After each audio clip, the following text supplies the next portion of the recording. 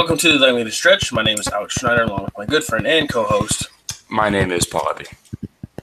Um, this is the series wrap-up of the Padres that is getting over today, Thursday, July 21st, 2016, and the preview of the upcoming weekend series of the LA Dodgers. Um, the only thing that I have to wrap up the Padres series is I put good offense, good pitching, and good defense down, just all around good playing. Yeah, and the thing is about the offense is that it was timely offense. Um, when they needed to hit a home run or when they needed to score runs, they did, and that was nice to see. Uh, and then the bullpen was able to hold leads consistently. Um, also, very good to see. Hopefully, this is a, a, a turning point for them, and we're going to see against a pretty good Dodgers team this weekend.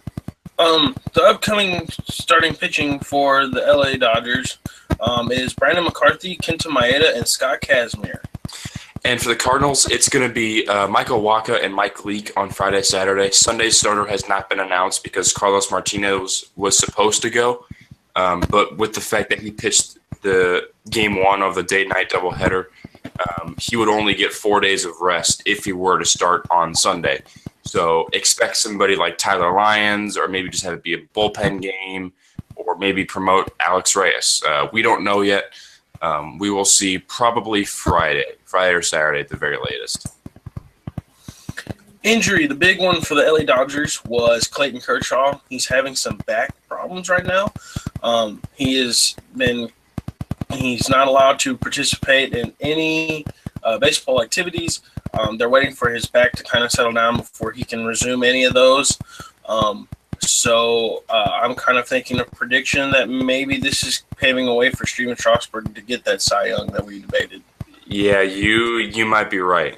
Um, but as for the Cardinals, um, the only injury has been Jhonny Peralta. He had some ligament thumb issues, um, but he's on the he's on the DL. Um, and Kevin Siegrist is now off the DL, and then uh, Miguel Socolovich from Memphis has been promoted from Memphis to the uh, Major League bullpen. Who's hot for the Dodgers? Corey Seager. I don't really need to say anything about him. You guys should know if you pay attention to any baseball. Um, and who's not hot is Howie Kendrick. He's just kind of a fill-in piece on the roster just to play some second base. Chase Utley's been playing a lot of second base for them this year. Um, so, yeah, uh, as who's hot for the Cardinals? Uh, Jedd Gyorko. Uh, if you've watched any of Pirates, or sorry, not, not Pirates, the Padres series this week, you all know that uh, Gyorko's just been mashed into baseball lately. Uh, and he's been fun to watch because of Matt Carpenter's injury. It's nice to have, at least right now, a, a pretty good replacement for Matt Carpenter. Uh, but as for who's not hot, I'm going to go with Tommy Pham. Uh, we have not really heard from him since promotion uh, from Memphis this the series against the Padres, he is 0 for 8. So while the rest of the team seems to be hitting the ball pretty well, Tommy Pham has not done much. Uh, but I'm not too worried about him. We all know how good of a player he can be. Um, for the predictions for this one, I really don't know. I'm hoping for a Cardinal 2 1 series win. Um, I think that their loss is going to come against Kenta Maeda just because we don't know what he's going to offer. Um, so I'm hoping a two-one series or series win for the Cardinals.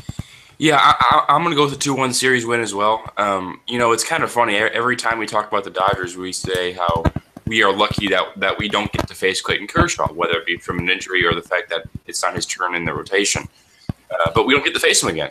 Uh, so I'm hoping that would that would make us or have us win the series. I think it will.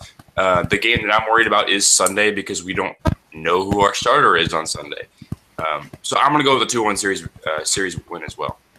Um, Alex, that is all I have for you uh, for the Dodgers. We will be back on Sunday with the Cardinals podcast, and then uh, next week when the Cardinals hit the road and go to New York and Miami.